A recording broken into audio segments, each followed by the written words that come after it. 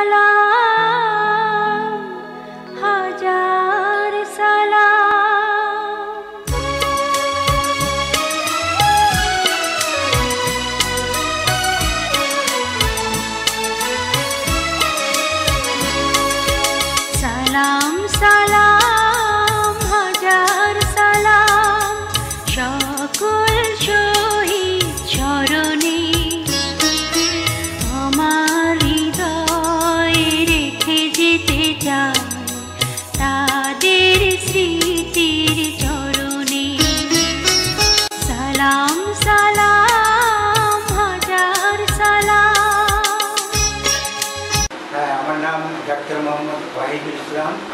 বাবার নাম মরহুম ইসলাম আমার মার নাম আমেনা খাতুন। বগুড়া, আমি উনিশশো একাত্তর সনে ময়মনসিংহ মেডিকেল কলেজে থার্ড ইয়ারের ছাত্র ছিলাম। আমি যখন স্কুল, স্কুলে পড়ি, বগুড়া করোনেশন ইনস্টিটিউশনে, আমরা যখন নাইন টেনে পড়ি, তখন আমরা ওই আমাদের পাড়ায় আমার কিছু সিনিয়র ভাই ছিল, ওনারা ছাত্রলীগ করতেন। তাদের সঙ্গে আমাদের যোগাযোগ ছিল। তারপরে যখন কলেজে পড়ি, বগুড়া হলক কলেজে তখন ছাত্রলীগের সঙ্গে আমরা সম্পৃক্ত হই। যখন মেডিকেল কলেজে পড়ি, তখন তো গণ গণ আন্দোলন ছিল, ছাত্র আন্দোলন ছিল ছয় দফা এবং পরে এগারো দফার সঙ্গে। আমরা সক্রিয়ভাবে ছাত্রলীগের রাজনীতি করতাম এবং আমরা রাজনীতির সঙ্গে ছাত্র আন্দোলন করেছি। হ্যাঁ আমরা যখন ওই যখন ওই যে ছাত্র আন্দোলন তুঙ্গে বাংলাদেশের স্বাধীনতার জন্য আমরা যখন আন্দোলন করছি, তখন বঙ্গবন্ধু সাতই মার্চ রেসকোর্সে যে ভাষণ দেন। সেই ভাষণে আমরা খুব অনুপ্রাণিত হই এবং আমরা ছাত্ররা যারা রাজনীতি করতাম মোটামুটি সব ছাত্রই এই আমাদের আন্দোলন এগারো দফা আন্দোলন তারা সমর্থন করে এবং যখন পঁচিশে মার্চ, ছাব্বিশে মার্চ যখন গণহত্যা শুরু হয় ক্র্যাকডাউন হয়, তখন আমরা ছাত্র সব থেকে বেরিয়ে পড়ি। বেরিয়ে পড়ে আমরা আগে তৎকালীন ইপিআর ছিল। আমরা তখন, আমরা এত মানে ইমোশনাল ছিলাম যে আমরা লাঠি হাতে করে আমরা ছাত্ররা সব দল বেঁধে আমরা ইপিআরকে দখল করার জন্য আমরা হাতে শুধু লাঠি ছিল আর কিছু ছিল না। কারণ আমাদের মনোবল ছিল, শক্তি ছিল, দেশকে স্বাধীন করতে হবে দেশের পাকিস্তানের শাসক চক্র থেকে দেশকে শোষণমুক্ত করতে হবে, এটাই ছিল আমাদের মানে আসল কথা। এবং আমরা এই দেশকে স্বাধীন করতে চাই। বাঙালি বাঙালি জাতীয়তাবাদের ভিত্তিতে আমরা দেশটাকে স্বাধীন করতে চাই। সেই জন্য আমরা ওই মুক্তিযুদ্ধে ঢাকায় আমার সঙ্গে মুক্তিযুদ্ধে ছিলেন হলো একজন ডাক্তার আবদুল্লাহ মাহমুদ বীর প্রতীক, একজন পাশ করা ডাক্তার ছিলেন ডক্টর কমলকৃষ্ণ কুণ্ডু, তারপরে আমাদের ডক্টর উনি মারা গেছেন মুর্শিদ চৌধুরী, আমাদের সঙ্গে ডাক্তার ছিলেন, ওনারা অবশ্য পাশ করা ডাক্তার ছিল, ডক্টর আবির ভাই আর ডাক্তার আহমেদ আলী, এই কয়েকটা নাম আমার আপাতত মনে আছে। আর কিছু আরও কিছু ছাত্র ছিল তারা মুক্তিযোদ্ধার শহীদ হয়। একজনের নাম ছিল, আমি তাকে মাহবুল হক ভাসানি বলে বলতাম। ডাক্তার সুপ্রিয় দাস, উনি তাকে অবশ্য হত্যা করে পাঞ্জাবিরা এবং তাদের আত্মীয় স্বজন সহ পাঞ্জাবিরা তাদেরকে তাদের গ্রামের বাড়িতে হত্যা করে। এবং আমাদের মেডিকেল কলেজে ও আরেকজন ছিলেন, ডাক্তার আমার সাথে ছিল ডাক্তার মুজিবুর রহমান ফকির। উনি প্রতিমন্ত্রী ছিলেন স্বাস্থ্যে, স্বাস্থ্য মন্ত্রণালয়ে উনি মারা গেছেন। ছাব্বিশে মার্চে ক্যারিয়ারের পরে মেডিকেল কলেজে হসপিটালে থাকতাম, তখন আমি একাই ছিলাম। সেটা উনিশে এপ্রিল, তখন পাকিস্তানি বাহিনীরা ব্যাপকভাবে বিমান থেকে গুলি বর্ষণ করে, তাতে অনেক লোক আহত হয় এবং আমাদের ময়মনসিংহ মেডিকেল কলেজে তখন অনেক লোক আসে, আমরা তখন তাদেরকে চিকিৎসা চিকিৎসা দিই। এবং শুধু তাই না ইপিআর ইপিআর যখন আক্রমণ হয়। ইপিআর অনেক লোক আমাদের আহত হয়েছিল। একটা, একজন ইপিআর সৈন্যের কথা মনে আছে। তার মাথায় গুলি লেগেছিল দুই, তিনজনের মাথায় গুলি লেগেছিল আমাদের প্রফেসর ছিল, প্রফেসর মির্জা মির্জা মাজহারুল ইসলাম এবং আরও সাতজন ছিল। ওনারা, ওরা ওনাদেরকে সার্জারি করে চিকিৎসা করে উনিশে এপ্রিল যখন পাকিস্তান বাহিনী, সেনাবাহিনী এয়ারফোর্স থেকে বোমা বোমা বর্ষণ করে বিশেষ করে শম্ভুগঞ্জ নদীর ঘাট বুধারাঘাট তখন অনেক রুগী আসে, অনেক জনতা আহত অবস্থা আসে। তখন মনে আছে তখন ক্যাপ্টেন ওই মুজিবুর রহমান উনি ছিল, আমরা ছিলাম, তখন আমরা অনেক রুগী আহত অবস্থায় আমাদের আমরা চিকিৎসা করি। কিন্তু তারপরের দিন শহরের অবস্থা এমন, অবস্থা খারাপ হয়ে যায় মানে আইন শৃঙ্খলা অবস্থা খুব অবনতি হয়। তখন অনেকে আমাকে বললেন, তো আপনি এভাবে হোস্টেলে থাকেন না? তো আমার এক বড় ভাই, ডক্টর মুজিবুর রহমান, ওনার বাড়ি ওই ফুলপুর। আমরা ওই লোকালে আর কি ইউটিসিতে ট্রেনিং নিয়েছিলাম। বেশ, সম্ভবত সাত দিনের ট্রেনিং নিয়েছিলাম। তো আমার কাছে একটা ওই থ্রি রাইফেল ছিল, সেই রাইফেল আমার কাছে ছিল। উনি বললেন যে রাইফেলটা আপাতত সাথে নিয়েন না। এবং ওটা আমি হোস্টেলে রেখে গেলাম আর কিছু লেপটেড ছাপাইছিলাম জনগণকে উদ্বুদ্ধ করার জন্য। এগুলো আপনি রেখে যান তারপরে আমি ওখান থেকে চলে যাই ফুলপুর। আমি তখন একজন আরেকজন মুক্তিযুদ্ধের সঙ্গে। ওনার নাম আমাদের খোকা হয় ওনার সঙ্গে আমি বর্ডার ক্রস করে পরে মাহমুদের সঙ্গে আমার দেখা হয়। ডাক্তার মাহমুদ ওখানে ছিল। মাহমুদ আমাকে ডেকে নিয়ে যায়। ওনার ওখানে ছিলাম। মেঘালয় জায়গাটার নামটা এই মুহূর্তে আমার আসছে না। ডক্টর মাহমুদ একটা অপারেশনে যায়, তখন আমি আমার সঙ্গে ডক্টর ডাক্তার কুন্ডু ছিল। তখন রফিকুদ্দিন ভুইয়া মামি সিং আওয়ামী লীগের জেলা সভাপতি, উনি একজন পুরাতন রাজনীতিবিদ, এবং ডাক্তার হাফিজ খান নামে আমাদের বড় ভাই। ওনার একদিন বিকেলে এসে বলল যে, চলেন আমরা ওই আর্মিতে কোনো ডাক্তার নেই। মেজর জিয়া রহমান, উনি আমাদের কাছে অনেক রিকোয়েস্ট করছে যে আপনার তো যেহেতু আপনার ডাক্তার মেডিকেল কলেজে এমনি ছাত্র এমনি ছাত্র যদি পান ডাক্তার ছাত্র পান নিয়ে আসে আমাদের ডাক্তার খুব দরকার। তখন হাফিজ ভাই আমাদেরকে, আমাকে ডাক্তার কুন্ডুকে আমি অনেকটা ওই ডাক্তার মাহমুদকে না বলি, উনি একটু জোর করে নিয়ে গেলেন আমাদের। আমরা গেলাম তুরায় তখন উনি আমাদেরকে নিয়ে জেট ফোর্সে গেলেন জেট ফোর্স হেডকোয়ার্টার এই প্রথম আমি মেজর জিয়াকে দেখলাম ডক্টর কুন্ডু ছিল আর আমি ছিলাম। আমাকে দিলেন থার্ড বেঙ্গল রেজিমেন্টে রেজিমেন্টের মেডিকেল অফিসার হিসেবে আর ডক্টর কুন্ডুকে ওই হেডকোয়ার্টার হোক মানে উনি ওনার আবার সার্জারি ট্রেনিং ছিল। হাউস জব করছিলেন ছয় মাস, তাই ওনাকে ওখানে রাখি। তারপর ওখান থেকে আমরা রৌমারি যাই, রৌমারি গিয়ে ওখানে আমরা মাঝে মাঝে অপারেশনে যেতাম। এক সময় আমরা, আমাকে কর্নেল সভার জন্য ম্যাচের সভার জন্য তখন আমাকে রৌমারি গিয়ে আমাকে বললেন যে, আমরা কিছু ছাত্র আর কিছু জনতা রিক্রুট করব। তা আপনি তো ডাক্তার মানুষ আসে না আমার সাথে। আমরা ওখানে অনেক রিক্রুট করলাম ছাত্র। ছাত্র এবং গরিব। ওটা নিয়ে একটা ওনারা ইকো গ্রুপ তৈরি করলেন তারপরে আমরা ওখান থেকে, আমাকে আবার এক মাসের জন্য ওই কর্নেল তাহে বলেন যে আমাদের ইলেভেন সেক্টর ওখানে অনেক রুগী আছে, ওই ইঞ্জুর পেশেন্ট আছে, ওখানে কোনো ডাক্তার নেই। তো আমাকে নিয়ে তখন উনি ওই মহেন্দ্রগঞ্জে গেলেন। ইলেভেন সেক্টর হেডকোয়ার্টার মহেন্দ্রগঞ্জ, ওটা আমাদের ওই কামারপুর ধানুয়ার উল্টা দিকে। ওখানে আমরা, আমাকে নিয়ে গেলেন, উনি এক মাস ছিলাম। তো ওখানে অনেক ইঞ্জুরি পেশেন্ট ছিল, ওখানে আমি চিকিৎসা দিই তাদের। অনেক তাদের সঙ্গে সঙ্গে থাকি। একবার অনেক ইঞ্জুরি হলো পাকিস্তান আর্মি অনেক ফাইট হলো ফাইটে ওদের অনেক লোক ইঞ্জুরি হয়, আমাদের কিছু ইঞ্জুরি হলো। তার সে বললেন যে, ডাক্তার সাহেব, এখন দেখেন কোনটা কোনটা খুব সিরিয়াস এগুলো আপনি দেখে টিকে যেগুলো রেফার করতে হবে রেফার করতে করে দেবেন বোঝা সাত আটজন আর রেফার করে তুরা তারপরে একদিন ভোরবেলা আর্মি ভাষায় বলে ফার্স্ট লাইন ফার্স্ট লাইনে আর্মিরা খুব বম্বিং করলেন। তো ওখানে অনেক মুক্তিযোদ্ধা ছিল। তাতে আমাদের কয়েকজন মুক্তিযোদ্ধা ইঞ্জুরি হয়।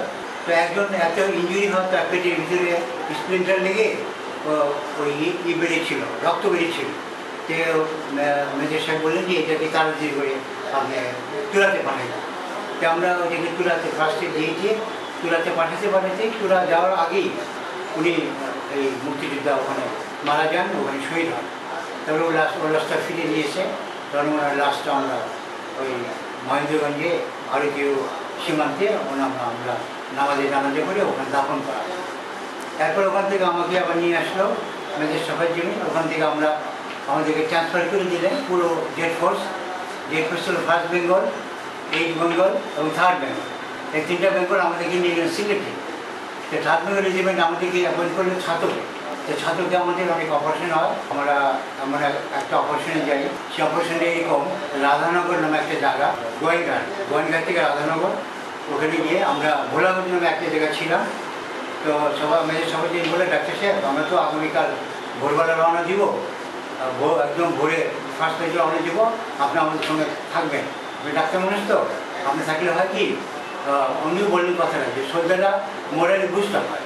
তাহলে ওরা ওরা ওরা জানবে যে আমরা যে গুলি টুলি খাই বা ইঞ্জুরি হয়, তাহলে আমাদের ডাক্তার সাহেব চিকিৎসা পাবো।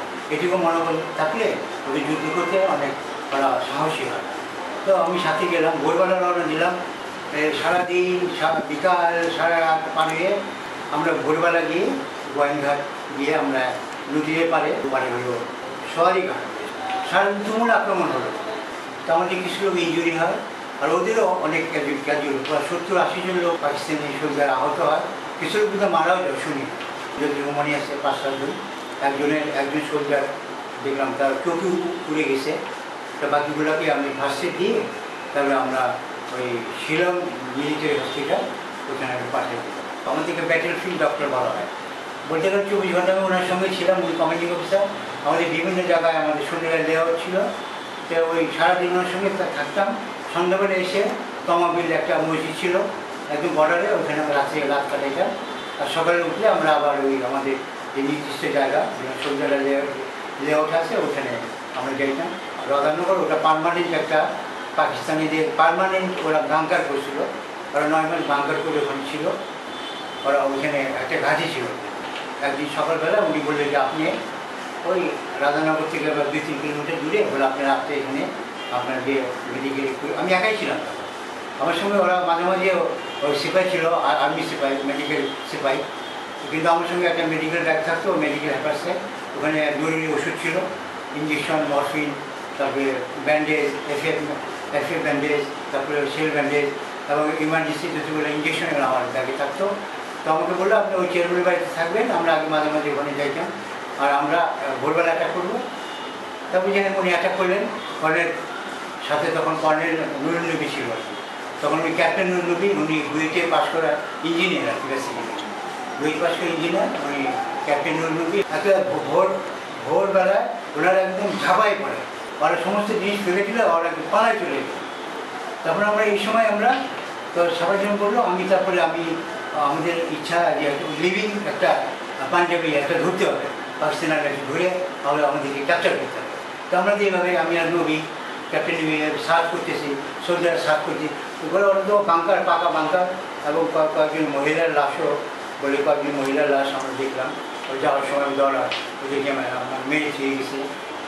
তারপরে অনেক মহিলাদের শাড়ি, কাপড়টা বলো বাঙ্গারে ছিল। তো আমি এরকম খুঁজতে খুঁজতে বলল যে একটা গুলি এসে বা গেলাম। তো উনি ইঞ্জুরি হয়ে পড়ে গেলেন। ওই ইঞ্জুরি হওয়ার পরে ওনাকে ইয়ে করে, চেয়ারে করে আসতে আসতেছিলেন। পরে আমাকে দেখে নেব ডাক্তার স্যার, আমি তো খুব ইঞ্জুরি হয়ে গেলাম। আর I first man to get বলে, কারণ ফার্স্ট এড দিয়ে ওনাকে হেলিকপ্টার করে পরে শিলং নিয়ে যায় শিলং নেওয়ার পরে পরে ওনাকে ওখানে চিকিৎসা চিকিৎসা পরে উনি আবার বেশি দিন থাকলেন না, মোটামুটি হইলে উনি আবার চলে আসলেন। চলে আসার পরে তখন মোটামুটি ডিসেম্বর মাস তো তবে আমি আর একটা কাজ করছিলাম ডিসেম্বর মাস যৌথ, আমরা যৌথ বাহিনী, ইন্ডিয়ান আর্মি আর বাংলাদেশ আর্মি মিলে যৌথ যৌথ বাহিনী ওরা ওরা একটা আক্রমণ করছিল ওদের মেইনলি গোর্খা রেজিমেন্ট ছিল, ওরা একটা আক্রমণ দিয়েছিল ওই পাকিস্তান আর্মিদের উপরে তো ওই ছাত্র এরিয়া জায়গাটার নাম মনে নেই, তো বাংলা বাজার বলে। একদিন আমাকে সকালবেলা তখন বোধ হয় শীতকাল তো, তখন বোধ হয় আটটা, নয়টা। আমাকে কল দিয়ে বলল যে ওখানে কিছু ইন্ডিয়ান আর্মি খুব ইঞ্জুরি হয়ে পড়ে আছে, আপনি আমি খুব তাড়াতাড়ি যান আমি দেখলাম ভুটান রেজিমেন্টে সাত আটজন আর্মি ওরা খুব আহত ইঞ্জুরি আহত অবস্থা পড়ে আসে একজনকে দেখলাম যে পেটে স্পেন্সার লেগে মানে গুজো দাঁত দিয়ে ব্লিডিং হচ্ছে। একজন দেখলাম চোখ উড়ে গেছে। একজন দেখলাম হাত, দুইটা হাতই নাই। কী করুন অবস্থা হবে আমি একাই ওখানে। ওখানে একজন ওদের একটা ক্যাপ্টেন ছিল। মানে ল্যাকটান দিয়ে খুব ব্লিডিং হচ্ছে তো, আমি একটা ওই স্যালাইন, আমি খুব কষ্ট করে, কারণ গোটা রেজিমেন্টে ওরা খুব, এমনি সব, কিন্তু বডি খুব স্ট্রং এবং স্টাউট রবাস খুব কষ্ট করে একটা আইভি ওখানে দিলাম। ভাবলাম যে যেভাবে ব্লিডিং হচ্ছে জন্য মারাই যাবে। তো আর বাকি কয়েকজনকেও আমি ওই মরফিন ইঞ্জেকশন থাকে আমাদের রেজিমেন্ট ফার্স্টে এগুলো ড্রেসিং ড্রেসিং করলাম, ওষুধ দিলাম। আর ওনাকে এইভাবে আইভি দিয়ে আর মোটামুটি রেখে আমি তারপরে আসলাম। ওখানে খুব ম্যালেরিয়া হয়, ম্যালেরিয়া। একশো ছয় ডিগ্রি বলতে জ্বর হয়। তো ম্যালেরিয়া আমাদেরকে ওই ট্রিটমেন্ট খুব সাধারণ ট্রিটমেন্ট দিতে হতো। এখন আমরা এইটুকুই আর কি বলা যুদ্ধ তখন শেষ ইয়ারে যখন সানডে করে আমরা তখন ছাত্রকে একটা রেস্ট হাউস ছিল। সেই রেস্ট হাউসে আমি ছিলাম। পরে আমরা সিলেক্ট সার্কিট হাউসে একত্রিত। একটা ঘড়ি হাউস আছে না? ওর- তখন ওখানে মেজর কর্নেল জিয়া সাহেব আসলেন থেকে এবং এবং ওনার জেট করছে যত আর্মি আছে আর্মি অফিসার সবাই এসে বসলেন। তো আমি একটু ওই অনেকগুলো অফিসার তো ওই রেস্ট হাউসে তো আমি ওই মেজর জিয়া মাঝখানে বসা আর পাশে সবাই যাবেন মিশ্র সামনে। আমি একটু পাশে বসা। তো আমাকে একটু অ্যাপ্রিসিয়েট করল আর কি। তো বিশ্বপতি সাহেব বললেন ডাক্তার সাহেব খুব কথাবার্তা কিছু বলে না। তো মেজর সাহেব জীবন বললেন যে no sir this doctor is very courageous is run from bunker to bunker under heavy shelling তো মেজর জিয়া বললেন তাকে ওনাকে দাও র্যাঙ্ক দাও হিম র্যাঙ্ক আমি বললাম স্যার, আমি তো এখন ছাত্র, আমি আর্মিতে ছাত্র থাকতে চাই না, আমি আমার কোর্সটা ডাক্তারি কোর্সটা ফিনিশ করতে চাই। আবার মানসিক মেডিকেলে ফিরে আসি। তো আমি এখন মনে করি যে, গণতন্ত্র আসলে এখনও আমরা গণতন্ত্র সুপ্রতিষ্ঠিত করতে পারি না আবার দুই নম্বর হলো যে সাম্প্রতিক অসাম্প্রদায়িক রাষ্ট্র গঠনের জন্য যে যুদ্ধ আমরা করছিলাম পাকিস্তানি একটা সাম্প্রতিক রাষ্ট্র থেকে আমরা আমরা বেরিয়ে আসলাম এবং স্বাধীনতা তিরিশ লক্ষ লোকের রক্তের বিনিময়ে যে স্বাধীনতা অর্জন করলাম, সেই সাম্প্রদায়িক দায়িত্বতা আমরা স্টাবলিশ করতে পারি নাই। এখন আমি দেখছি, আমি খুব আতঙ্কিত যে এখন মৌলবাদী শক্তিরা খুব মাথাচাড়া দিয়ে উঠছে এবং ওরা শুধু তাই নয়, ওরা রাষ্ট্রের অনেক কাজে ওরা বাধা, বাধার সৃষ্টি করতেছে। মানে আমি আমরা চাইছিলাম অসাম্প্রদায়িক ধর্ম নিরপেক্ষ ও শোষণমুক্ত রাষ্ট্র গঠন করার জন্য। কিন্তু আমরা এখনও শোষণমুক্ত হতে পারি নাই, আমরা সমাজতন্ত্র গঠন করতে পারি না আমি চাই এই দেশটাকে, এবং মেজর সাহার জামানেরও ওনারা উনিও একসময় ছাত্র ইউনিয়ন করতেন। ওনারা উনি বলতেন এই দেশ এখন সমাজতন্ত্র প্রতিষ্ঠা হবে, এই দেশের সকলের অধিকার প্রতিষ্ঠিত হবে। আমরা সেটাই চাইছিলাম, কিন্তু আমরা এটা আমি মানে প্রকাশ্যে বলব এবং জোর গলায় বলব, আমরা ব্যর্থ হয়েছি আসলে। আমরা স্বাধীন রাষ্ট্র পেয়েছি, কিন্তু আমরা সাংবিধানিক, অসাংবিধানিক রাষ্ট্র এবং ধর্ম নিরপেক্ষ রাষ্ট্র এখনও যদিও সংবিধানে আছে এটা, কিন্তু বাস্তবে আমরা এটা, আমরা আমরা করতে পারিনি। আমি বলব, আমরা নতুন প্রজন্ম আছেন। আপনারা ভবিষ্যতে দেশের কর্ণধার, আপ- আপনারাই রাষ্ট্র চালাবেন। আমি বলব, আপনারা মুক্তিযুদ্ধের ইতিহাসটা পড়েন। মুক্তিযুদ্ধের যেটা সত্যকার ইতিহাস। কারণ মুক্তিযুদ্ধের পরে কিন্তু অনেক ইতিহাস বিকৃত হয়েছে। বা মিথ্যাভাবে অনেক ইতিহাস লেখা হয়েছে। ইভেন বঙ্গবন্ধুর নাম পর্যন্ত এই মুক্তিযুদ্ধের ইতিহাস থেকে আমাদের হাজার বছরের শ্রেষ্ঠ বাঙালি অবিস- অবিসংবাদিত নেতা ওনার নামও ইতিহাস থেকে সরানোর জন্য চেষ্টা করা হয়েছে। এবং শুধু তাই না, রেডিও, টেলিভিশন থেকে ওনার ওনার কোনো ছবি আমরা দেখতে পাইনি। ওনাকে নাম মানে মুছিয়ে ফেলার চেষ্টা করা হয়েছে এবং বঙ্গবন্ধু হত্যা করে, ওনার পরিবার হত্যা করে বাংলাদেশের স্বাধীনতাকে নস্বাত করার জন্য, এই দেশকে আবার পাকিস্তান বানানোর জন্য ষড়যন্ত্র করা করা হয়ে, তখন হয়েছিল, এখনও ষড়যন্ত্র আছে। আমি নতুন প্রজন্ম বলব, আপনারা ইতিহাস পড়ুন শুধু ইতিহাস জানুন দেশকে ভালোবাসুন এবং একটা, আমি বলব, অসাম্প্রদায়িক ধর্মনিরপেক্ষ, শোষণহীন একটা সমাজ বাংলাদেশ করার জন্য আমি আপনাদেরকে অনুরোধ জানাব এবং আহ্বান জানাব। জয় বাংলা।